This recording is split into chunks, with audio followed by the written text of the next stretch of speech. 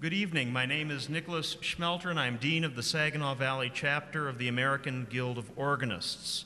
I'm so glad to welcome you to this program as it's a collaborative event between the AGO and the Memorial Presbyterian Church. The Kent S. Dennis Memorial Recital is a celebration of Dr. Dennis, who served for decades, served for decades here, not only offering as accompaniment of the choirs, but offering an annual recital each November, an opportunity to give thanks musically for so many good things. And tonight we have the chance to do the same thing, but not strictly the chance to enjoy the music, but the chance to also remember Dr. Kent's great support of new organists, not only as a teacher, but as a colleague. This evening we have the chance to gather also, uh, and I am going to encourage each one of you to consider your generosity to the Kent S. Dennis Memorial Endowed Scholarship a scholarship fund held by the Midland Area Community Foundation, a scholarship fund which gives the Saginaw Valley chapter the opportunity to encourage the scholarship of new church organists and synagogue organists as well. But this evening, uh, in your Vesper Concert Series folder, uh, which lists more about our artist, Dr. Angelo, you will also notice a Midland Area Community Foundation envelope, giving you the opportunity to participate with your generosity to the endowed scholarship. You're in for a real treat musically tonight. Dr. Angelo is a treasure as a performing artist in this region, a fine musician, and a dear colleague to have for all of us in the church music field. He's going to be sharing a, rep, a recital of French repertoire that I hope you very much enjoy. Before I invite Dr. Shocker, the pastor, to come and uh, lead an inv- uh, invocation this evening, I just encourage you, if you have a cellular phone, to please silence the cellular phone.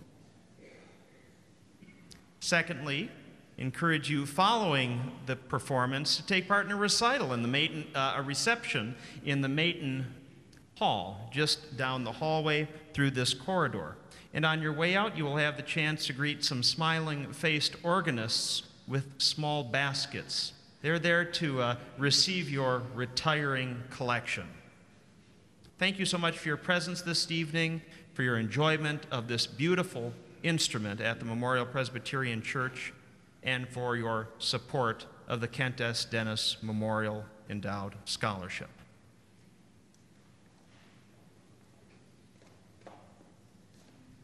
Good evening.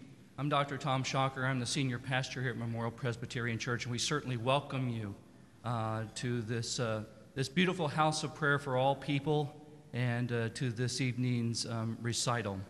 Paul, in his letter to the Colossia church, writes these words Let the word of Christ dwell in you richly, teaching and admonishing one another in all wisdom, singing psalms and hymns and spiritual songs with thankfulness in your hearts to God. And that is certainly how we come to this time tonight with thankfulness in our hearts. Let us pray. Holy God, indeed, we do come with joyful thanksgiving tonight and truly seek to give you the glory through this beautiful music in our time together. We're so very thankful for the generosity that has made tonight's service possible. And we thank you for all the gifts that so many have shared. And now, Lord, let your holy melodies sing in our hearts as we pause in the midst of our busy lives to enjoy the gift of music. In Jesus' name we pray. Amen.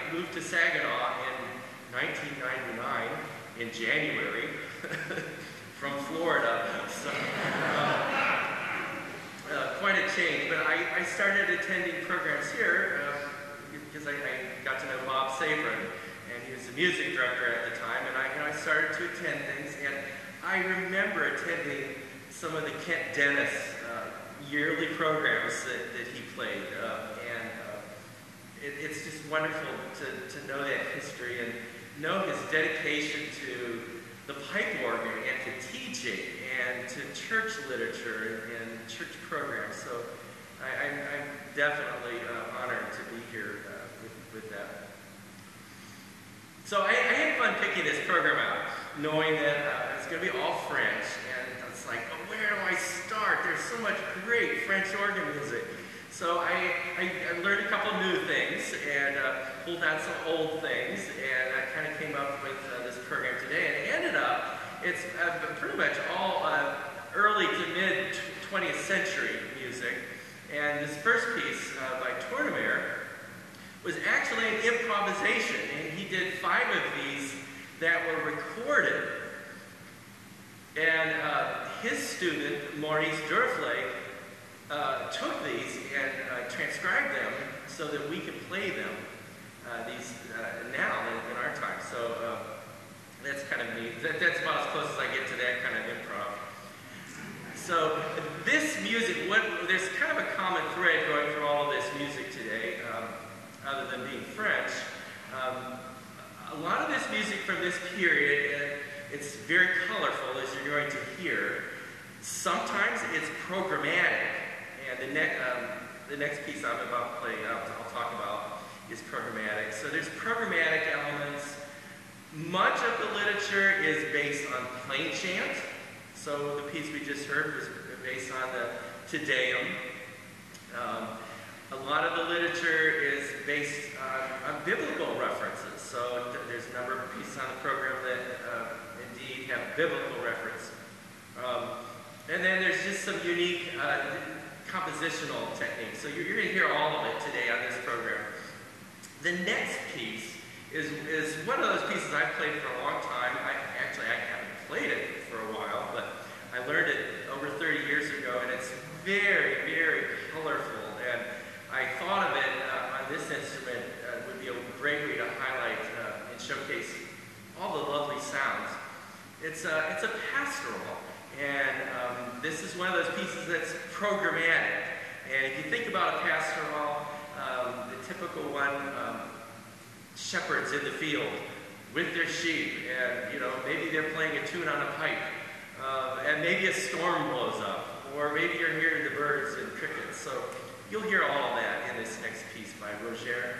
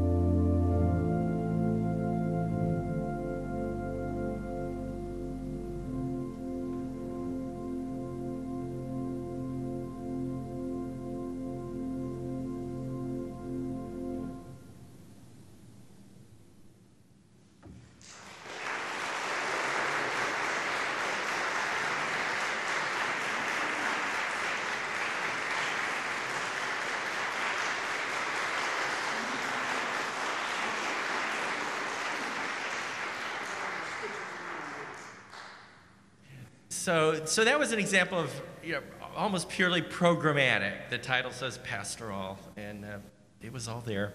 The next piece uh, represents a type of literature that was, again, improvised and composed during this time, and uh, th- that was the large scale symphonies written for organ. And they were usually multiple movements, you know, three movements, maybe five movements and contrasting styles and you know showcasing the, the great colors of the instrument. And so that, that was uh, you know within the period all composers you know a lot of them composed symphonies for organ. So i, I close with a work by louis vierne um, but uh, the next piece is by naji hakim. And you might be thinking that doesn't sound like very french name, heritage, and it's not. Uh, he was born in Beirut, Lebanon, but if you were to meet him, he's very French, and I, I had the privilege of uh, getting to meet him and talk with him when I was uh, working on my dissertation.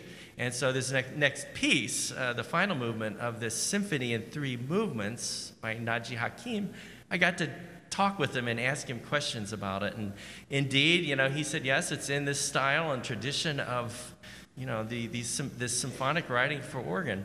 And typically, in, in, in this format, um, you, you, you can have cyclic themes, which means if you had a theme in the first movement, it would come back in the, the second and third and fourth.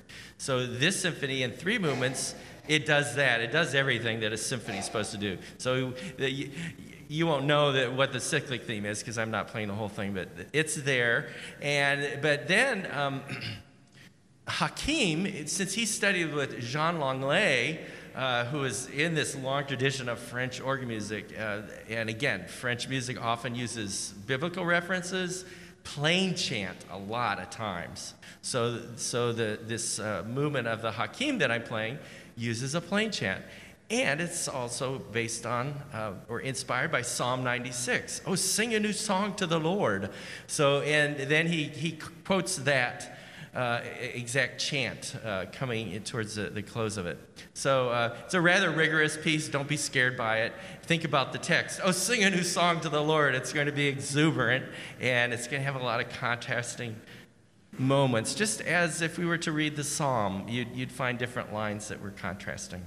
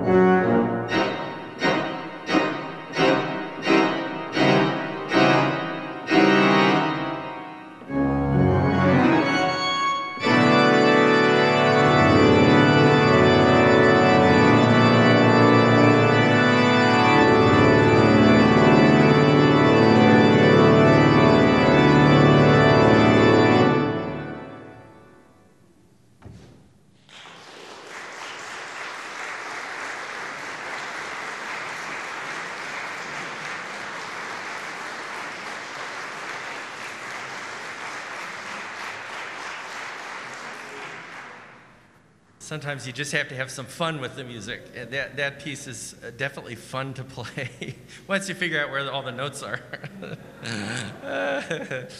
um, the next piece uh, by Olivier Messiaen um, kind of fits into that category of, of, of, those composers that really reached outside the box. And actually, in, in Messiaen's case, it was other universe areas and zones. I mean, um, I, I, sometimes say this music sounds aleatoric, and I, I mean that in a good way, but it, it, is, it does sound very different than most any music of this period we hear because uh, Messiaen was so individualistic, and he created his own scales and um, combined them in certain chords to create certain colors.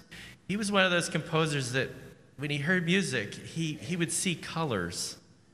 There's some big, long, fancy word I can never remember, but it, uh, that describes that. Scriabin was the same way. Do you remember Melanie? Anyways, so um, he relies on some very interesting colors. Uh, then he um, also uh, uh, researched a lot into bird calls, believe it or not, and he would write these down, and um, he was very intrigued by that sound. Of bird calls. So if, if you listen, you'll hear elements of that in, in this music. Um, uh, then the other thing, he, he was very intrigued by rhythm. And again, he was outside the box on this, and he, he has lists and lists of Hindu rhythms that he utilized in all of his music. So that gives it another kind of very unique sound. You've maybe you don't hear it every day. Um, then Messiaen was one of those uh, composers also that was very devout, a very devout Catholic. Um, and so uh, the music of the church was so important to him, and scripture was so important, and the life of Christ. So he often represented in his, his organ collections um, aspects of the life of Christ the transfiguration, um, the resurrection, the ascension.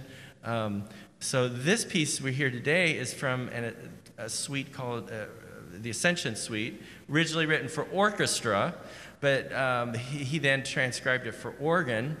And um, this movement, the uh, Serene Alleluias, um, is, is hauntingly beautiful. Uh, there's almost elements of plain chant in it, but again, through Messiaen's um, eyeglasses, and I can't imagine what they were like to look through. but, anyways, um, Messiaen.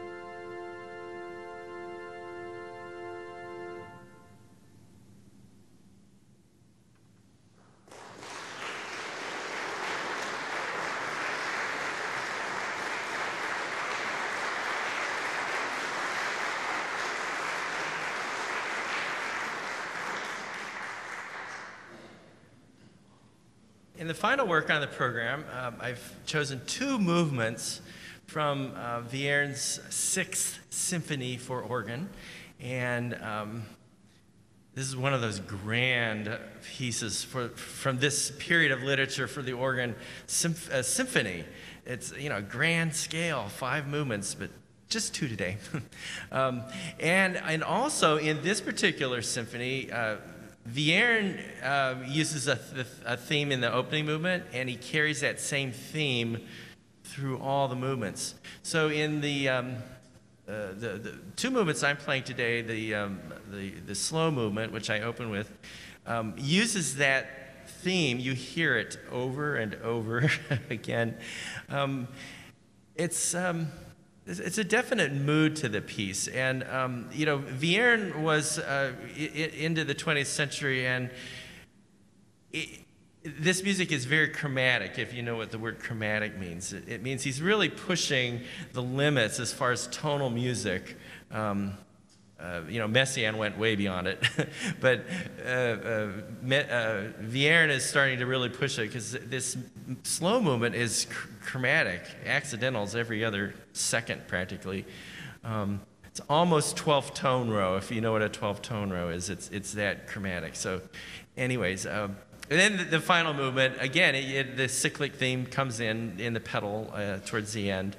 Um, very joyous uh, closing movement. So, thank you for coming today, and thank you for enjoying this magnificent instrument.